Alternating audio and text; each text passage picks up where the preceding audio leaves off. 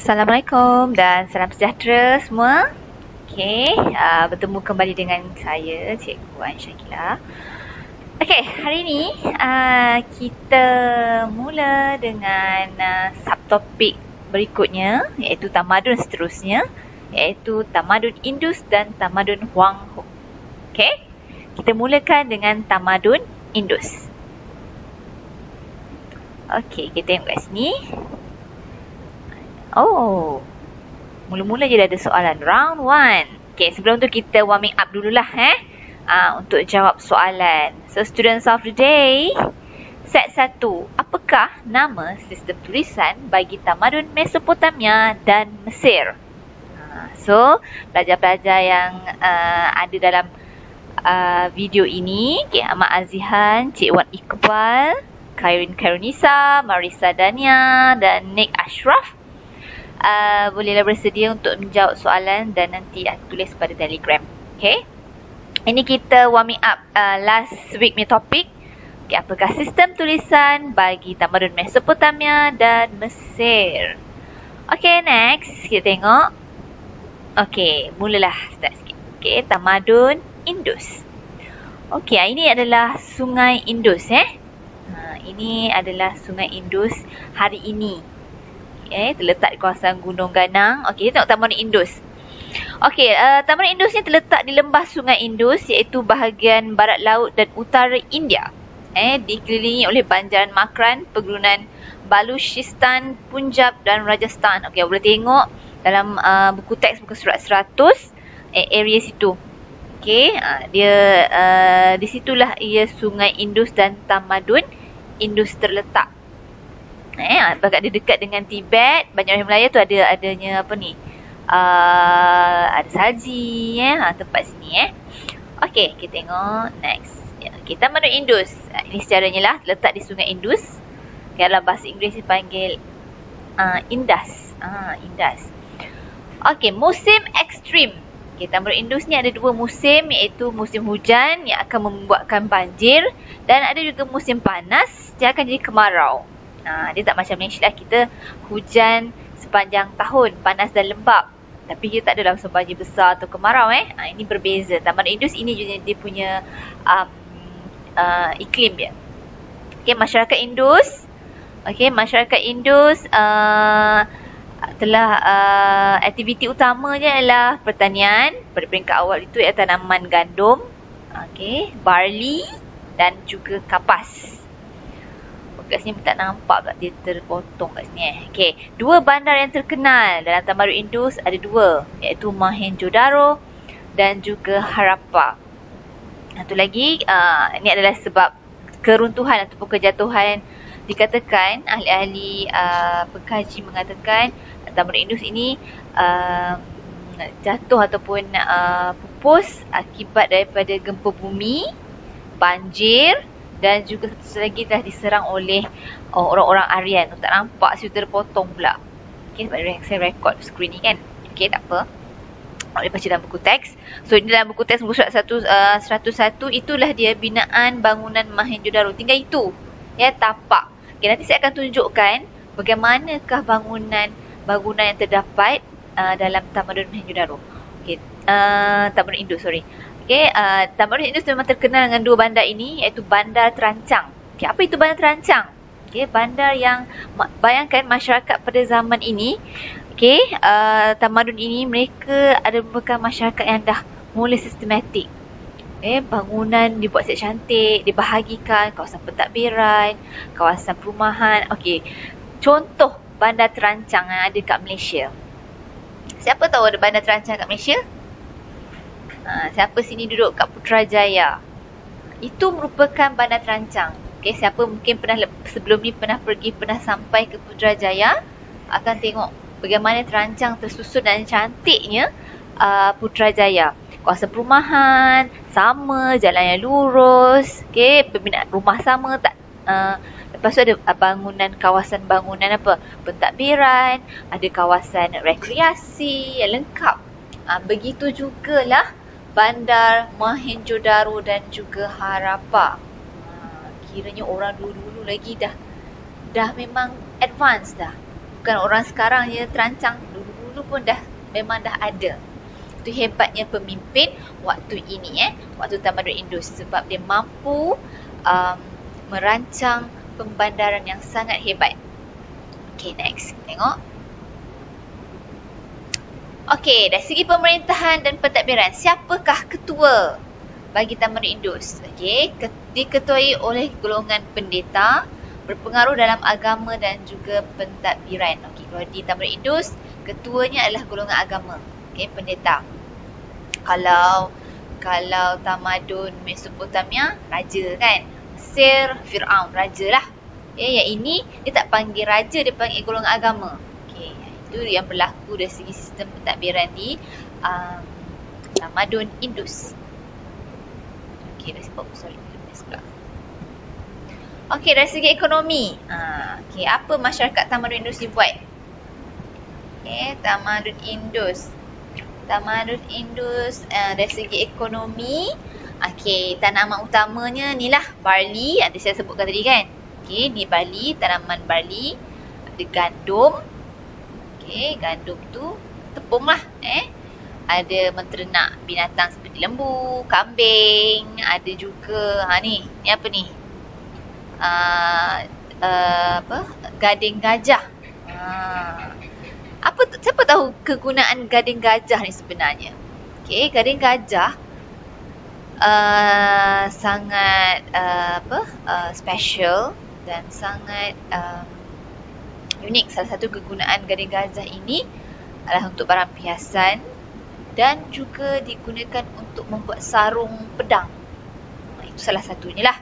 Okey, kegunaan gading gajah. Dan uh, apa lagi ya? Kain eh.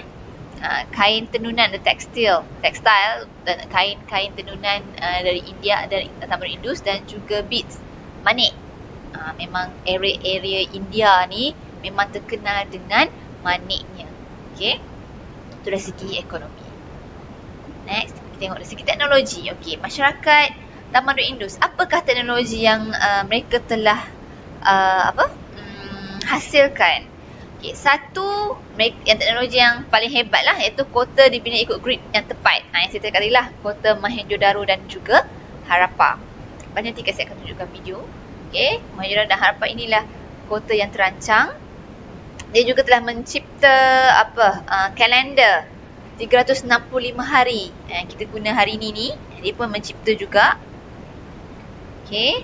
Uh, sistem pembentungan. Uh, ni ni yang antara yang lain daripada tamadun lain iaitu sistem pembentungan. Maksudnya untuk membuang sisa-sisa buangan. Dia dah ada sistem pembentungan.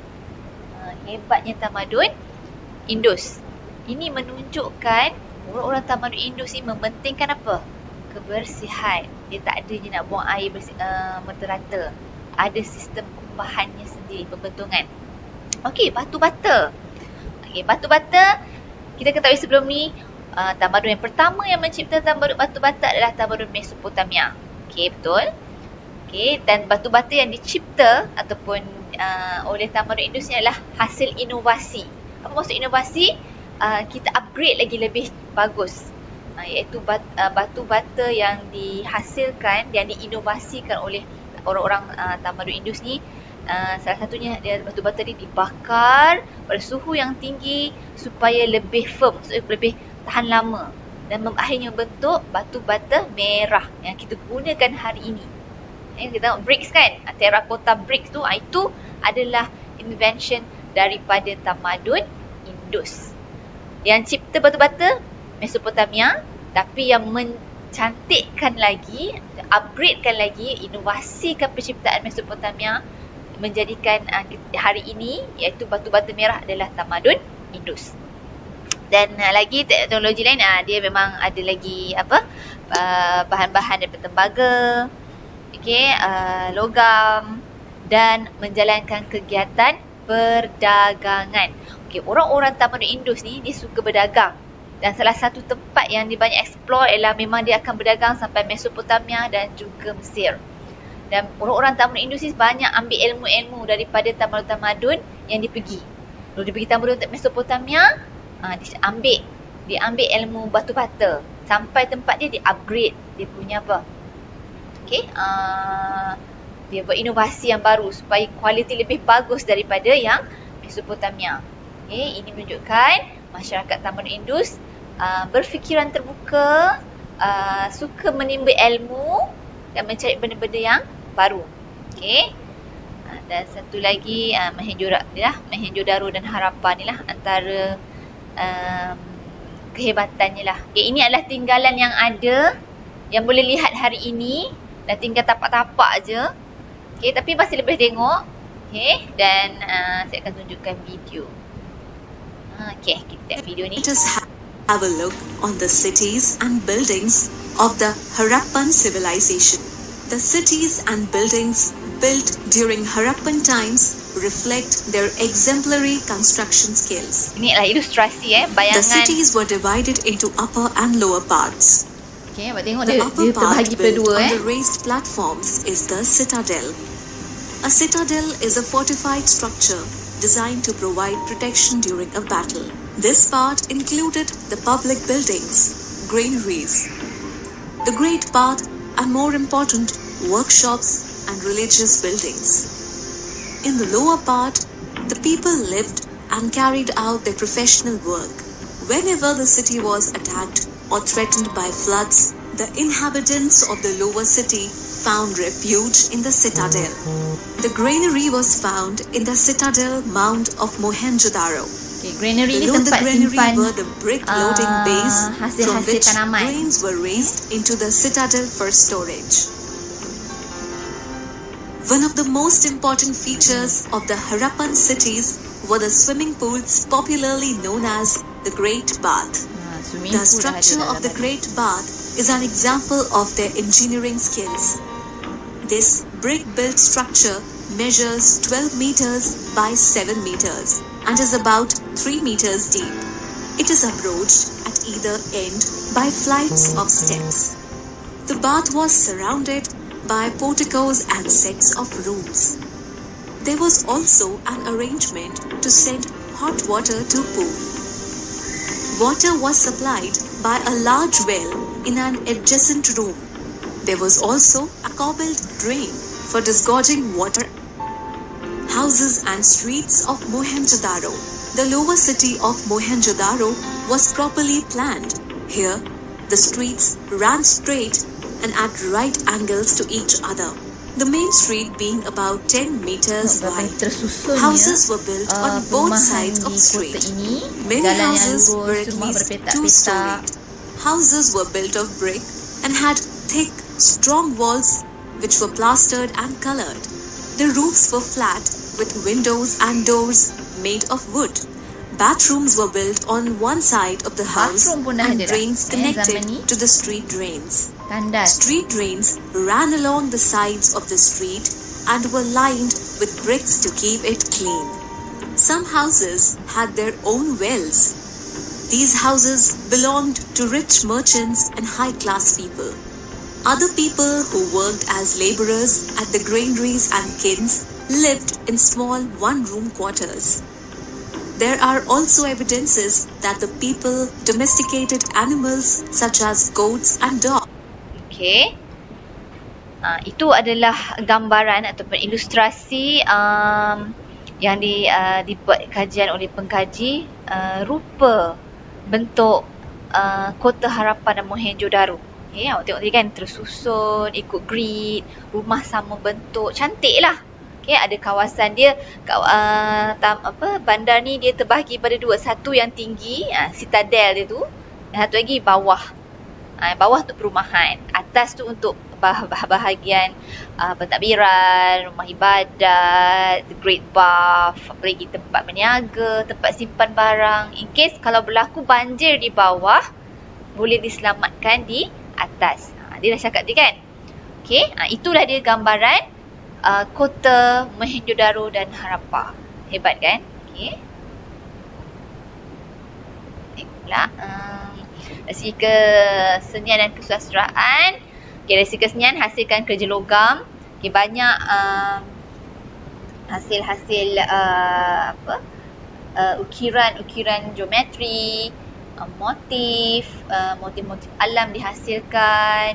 uh, kisahkan patung-patung daripada batu dan logam. Okey, dan nama sistem tulisan tamadun ni adalah pictograph. Pictograph maksudnya macam bentuk gambar yang awak tengok dalam ni. Kan? Ni ada cerita lah ni. Gaknya lembu, naik roda. Ha, adalah maksud-maksud dia. Ha, maksud berbentuk gambar. Picture. Pictograph. Okay. Oh, okay. Untuk soalan round 2. Set 2. Student of the day. Kita jawab soalan apa ini? Okey, siapakah yang menerajui atau memimpin pentadbiran tamadun Indus?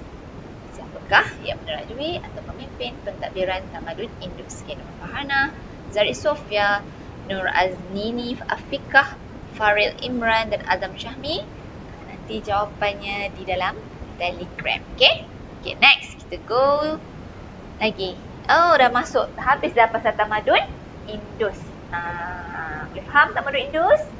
Letak di sungai Indus and then dan ada apa uh, banyak uh, sumbangan-sumbangannya. Antaranya yang paling hebat adalah perancangan bandar okay, sekarang kita tengok tamadun Huang He okay, kalau ejaan dalam ni Huang He kan? Uh, tengah bunyi Huang Ho okay. kita tengok eh tamadun Huang He pula. Okay, ini adalah gambaran dan buku teks more clear rasanya. Hmm, di manakah terletak uh, tamadun Huang Ho ni bulletin page 102 ha, kat situ. Laut kuning kuning kuning kat yang so anya. Area situ dalam peta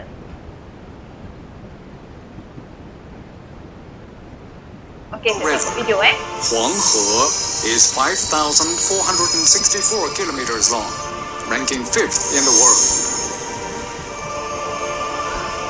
Originating in the Qinghai Tibetan Plateau, it flows east through nine provinces and empties into the Bohai Sea.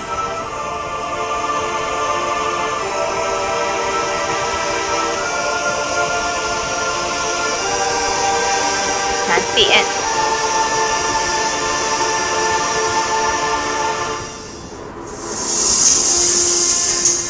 Sometimes Huanghe is poetically called the muddy flow. The rich silk carried by Huang He, formed fertile farmland that is the birthplace of Chinese culture.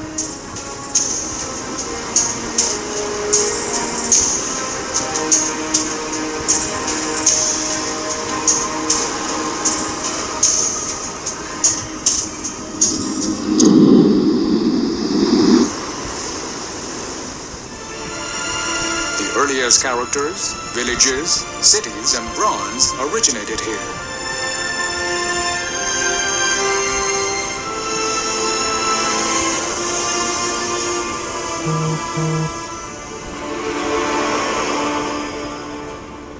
Okey, itu tadi gambaran Sungai Huang He. Uh, itu ada Sungai Huang He yang ada masih ada lagi sampai hari ini atau namanya Sungai Kuning. Iaitu terletak di mana terletaknya uh, oh sorry. Uh, di mana terletaknya Tamadun Huang He. Okey. Huang He terletak di kawasan tepi sungai dan kawasan pergunungan iaitu dipanggil sebagai Sungai Huang He ataupun Sungai Kuning. Kenapa dikatakan sungai kuning? Sebab uh, sungai tadi tu membawa uh, lumpur berwarna kuning yang subur. Nampak tadi kan? Air dia taklah jernih. Air warna coklat uh, kuning-kuning lah. Okay? Dan aktiviti, uh, mostly aktiviti utama orang masyarakat Tamadun Huang He adalah aktiviti pertanian lah. Bertani, menternak binatang, menghasil hutan. Okay? Ha, di sini lain. Tiada kegiatan perdagangan kerana kedudukannya yang terperencil. Ha, dia berbeza dengan Tamadun Indus. Tamadun Indus tadi memang ada menjalankan perdagangan. Tetapi Tamadun Huang He tiada. So, masyarakat ketika itu uh, menjalankan, uh, menghasilkan makanan sendiri dan tidak berdagang dengan orang luar. So, based on apa yang dia yang ada lah. Okay. Okay. Uh, waktu zaman Tamadun Huang He ni, bandar utama ialah bandar Anyang okay, Bandar Aryang yang menjadi pusat kerajaan bagi dinasti Shang. Okay, untuk uh, untuk Tamadun Huang He ni terdapat tiga dinasti, maksudnya uh, raja yang berkuasa dan tiga dinasti yang berkuasa iaitu Shang, uh, Zhao, okay, uh, dan Yang Z. Uh, Yang Z Yang cukup pronounce dia. Okay. Next. Okay, dari pentadbiran dan pemerintahan. Siapa yang memerintah uh, Tamadun Huang He ni? Okay, pengganti daripada putera diraja. Okay, raja lah. Okay, raja ini berkuasa dalam politik, ekonomi, sosial dan agama. Dipegang semua. Dan raja mendapat mandat dari Tuhan. Apa maksud mandat dari Tuhan? Ha, bisa berpendengar mandat. Okay, mandat dari Tuhan ni maksud di sini. Um, masyarakat orang percaya orang yang akan menjadi pemerintah ini dia adalah di, uh, diberi uh, apa? di, diberi kurniaan ataupun anugerah untuk mentadbir uh, sebuah kerajaan. Okay. Jadi, uh, untuk tukar raja, one day lah kita nak tukar raja kan. Uh, macam mana cara orang-orang masyarakat nak tukar pemerintahan, tukar raja? Uh, mereka percaya sekiranya waktu raja itu memerintah, berlakunya perang yang besar, wabak, banjir besar, mereka percaya bahawa Tuhan dah marah so perlu tukar pemerintahan. So kalau peace, kalau bagus, uh, tak ada masalah, maksudnya uh, Tuhan uh, bagi mereka percaya bahawa Tuhan uh, masih lagi apa? Uh, membenarkan raja-raja ini untuk memerintah. Raja bukan Tuhan eh. Uh, dia tak macam Firaun. Firaun mengatakan dia dia Tuhan. Kan? Uh, tapi uh, di tamadun Huang Ho masih ada raja dia percaya ada Tuhan yang beri kurniaan. Cara untuk exchange pemerintahan adalah dengan sekiranya berlaku wabak ataupun bencana alam pun peperangan besar melibatkan banyak kematian maksudnya dia kata oh, Tuhan marah lah tu maka tukar raja dan raja dibantu oleh bangsawan dan pegawai kerajaan dari segi sistem organisasi sosial raja lah course seperti tinggi memerintah ada golongan bangsawan, golongan petani dan juga golongan hamba. Hampir keseluruhan tamadun um, uh, organisasi sosial ni samalah eh. Ada raja, ada hamba, ada pertengahan artisan, dia basic lah pedagang. Okay, artisan ni maksudnya apa? Orang yang membuat hasil seni. Contoh, buat pedang, buat bangunan, monumen ke, buat uh, apa? poetry, ceramik lah, apa, benda-benda tu lah. Okay, ha, yang mereka bidang bid manik ke, ha, itu pun dia gelar artisan. Okay, dari segi ekonomi. Okay, dari segi ekonomi, masyarakat uh, Tamadun Wang He memang adalah mengamalkan uh, penternakan binatang. Okay, ini memang utamalah. Sebab dia tak ada perdagangan orang lain, jadi menghasilkan makanan sendiri. Apalagi dia tanam gandum, Ha, ni ada millet bersekoi. Eh. Ni macam ni lah rupa dia. Okay. Orang Malaysia tak makan kot sekoi ni. Eh. Ada tapi kita jarang makan. Eh, dia, dia, boleh buat bubur. Okay. Ha, dan satu sekoi ni pun ada makanan-makanan burung pun sekoi lah. Okay. Dan akhir uh, dan satu lagi uh, disebabkan mereka memang uh, masyarakat yang bertani so banyak inovasi inov, uh, apa penciptaan penciptaan yang telah mereka buat salah satunya orang yang mencipta um, sabit adalah tamadun Wang Ho dan juga cangkul yang kita guna hari ini. Ha, mereka lah yang cipta. Kalau Mesopotamia mencipta roda, ha, orang Wang He dia mencipta alat pertanian iaitu cangkul dan juga um, sabit. Okay. Teknologi lain, ha, salah satunya adalah uh, yang popular sampai hari ini. China memang terkenal dengan sutera. Ha, sutera ni datang daripada ulat sutera ni lah. Eh, lepas tu dia anyam-anyam uh, apa halus-halus dia punya yang putih tengok-tengok ni. Ha, dan akhirnya jadikan kain. Dan sutera ni bukan kain-kain biasa. Kain yang mahal, lembut, tak panas, cantik. Ha, dan selalunya digunakan oleh orang raja lah. Orang-orang bangsawan, orang-orang biasa tak pakai kain sutera. Okay. Dan satu lagi teknologi lain adalah mereka ni pandai pottery, buat ceramik. Okay, itu memang terkenal. Madu-madu Cina ni memang terkenal dengan pembuatan ceramiknya. Begitu juga dengan madun Wang Ho. Okay. Itu penciptaan Wang Shiling. Orang mesti tak tahu gambar. Ada Wang Shiling eh. Wang Shiling. Cipta kompas. Ha, kompas yang kita guna tunjuk arah hari ini ni dicipta oleh Tamadun Wang Ho. Next. Okay, round 3, set 3 soalan. Uh, boleh faham tadi eh? China. Ah, sorry, China. Tamadun Huanghu. Letak di Sungai Kuning. Uh, masyarakat utamanya memang menjalankan pertanian. Penciptaannya adalah apa? Uh, penciptaan cangkul dan juga sabit. Raja yang berkuasa sebagai pemerintah. Kenapa ni? Dapat dua penciptaan masyarakat Huanghu yang menyumbang kepada penggunaannya dalam bidang pertanian.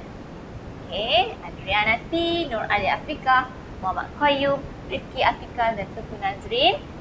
So, jawab soalan saya dalam telegram. Okay, sambung lagi. Oh, beda. Okay, habis dah dari segi kesusastraan pun dalam ni dia tak banyak cerita. Kesusastraan, Wang Hu ni um, uh, sistem tulisannya berbentuk uh, ideogram. Okay. Dan kalau awak tengok video yang sebelum ni ada uh, uh, video yang tadi awal-awal tu. Okay, itu dah sistem tulisan. Tulisan ideogram itulah akhirnya membawa bertulisan Cina hari ini. Uh, hasil uh, puisi, okay. Hmm, lain uh, dan uh, tambah ni kurang seni bina monumen. So tak ada lagi uh, bangunan-bangunan yang nampak. Uh, yang paling nampak ialah penciptaan alat-alat tu lah. Okay. Alat-alat. Tak boleh tengok dalam buku teks 107 tu. Uh, kawasan perkuburan di Raja Shang dalam Taman Huanghe terdapat objek dibuat daripada uh, daripada bangsa. Ada logam pun ada juga. Okey. Faham dua tamadun ni? Okey. Uh, so, uh, ni soalan kita nak refleksi balik. Bab empat. Habis dah lah. So, ada empat tamadun. Kita dah cover empat-empat tamadun. Last week dua tamadun. This week kita buat lagi dua. So, apa yang awak pelajari daripada tamadun ni? Kalau ada soalan K4 lah tanya kan? Okay. Apakah uh, pengajaran yang anda dapat daripada masyarakat tamadun awal? soalan tanya macam tu lah. Agaknya apa nak cakap? Tengok, tengok balik, kalau soalan tanya macam tu, tengok balik apa dah belajar yang okey, tamadun Mesir, tamadun Mesopotamia. Apa yang kita boleh belajar daripada orang? Contohnya apa? Kreatif dan inovatif. Itu yang kita kena belajar kan? Kita, apa yang kita boleh contohnya dia? Menjadi seorang yang kreatif dan inovatif. Mencipta sesuatu untuk apa? Kegunaan masyarakat. Tapi contohlah, memang orang-orang tamadun ni memang banyak penciptaan lah penggunaannya kekal sampai hari ini kan. Apa lagi? Kita tengok kalau contoh kat tamadun Mesir. Mesir dari segi uh, ilmu lah. Okay, membanyakkan lagi ilmu. Eh, cari ilmu-ilmu baru untuk apa? Uh, apa?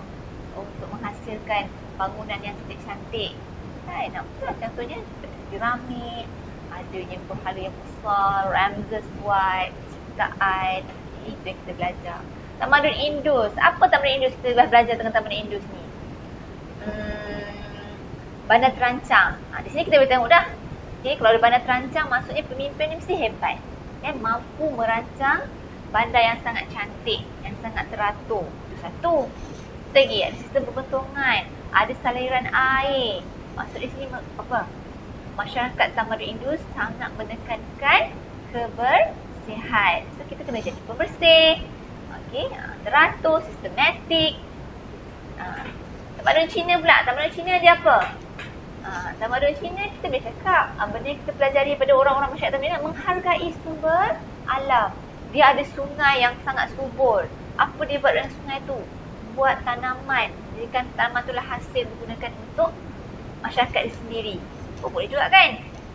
inovasi lagi sama juga eh mencipta apa cangkul sabit uh, kalau lah ada soalan macam tu itulah yang kita pelajari maksud apa yang kita pelajari tu awak tengok secara uh, bila kita belajar kita tengok okey oh orang ni macam ni. Mana cara apa yang kita positif benda perkara positif yang kita boleh ambil daripada uh, peristiwa itu ke masyarakat itu ke uh, itu adalah soalan-soalan. Hebat yang akan selalu tanya dalam soalan.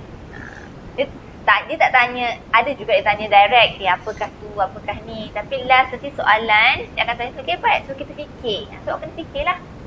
Okay okay next. Apa lagi ada lagi tak oh, okay. Tugasan cuti sekolah. So manakah hari ni hari uh, ter- uh, kelas yang terakhir sebelum awak cuti sekolah dua minggu ni?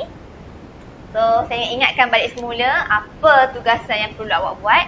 Salah satunya ialah hasilkan pop-up book untuk empat tamadun yang telah kita pelajari ini. Saya terangkan last week apa yang awak kena buat, cara macam mana dan hasil tugasan ni akan dihantar waktu kita pulang ke maktab nanti. Dan satu lagi yang ini ekstra lah tambahan saya nak suruh buat. Cari makna atau maksud perkataan di bawah dan tulis dalam buku nota anda. Okay, awak boleh search internet, kamus dewan. Okay, apa maksud pendeta yang betul eh? Panjang supaya awak faham. Apa maksud mandat? Apa maksud empire? Ha, okay. Dan maksud-maksud ini uh, awak salin dan tulis dalam buku nota. Nanti pun sama saya akan check uh, semasa kita kembali ke maktab. So ada dua tugasan. Okey, dua tugasan perlu dibuat. Buat workbook dan ini. Okey, dan buku nota. Okey, boleh semua? Okay, oh, habis dah. Okey, jadi saya nak uh, pukul 11 semua on uh, Telegram kita uh, saya ada live chat dengan awak sekejap. Sebelum kita lepas tu habislah. Okay, ha, saya nak tanya soalan. So, so bersedialah saya akan point nama-nama ha, so siapa yang tak ada tu maksud dia tak tak tak, uh, tak alert. Okay, pukul 11 kita semua live dalam telegram chat. Okay, itu saja. Terima kasih kerana uh,